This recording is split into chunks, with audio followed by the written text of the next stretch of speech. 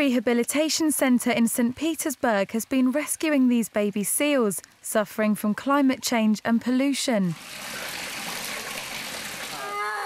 Staff members at the centre have been fighting for the life of this little one in particular after the newborn was brought to the centre covered in oil.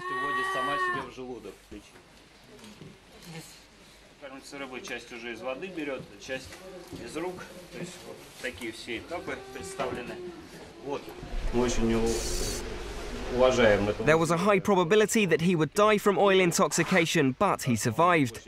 Plus, when he got here, he was either newborn or two or three days old. He is emotionally very attached to people, which creates a big problem for us. We will have to work with him to detach him from people.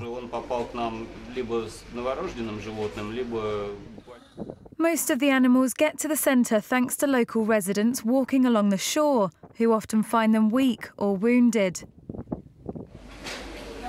Staff have been working on rehabilitating seals since 2007 and have rescued and released more than 20 into the wild since then.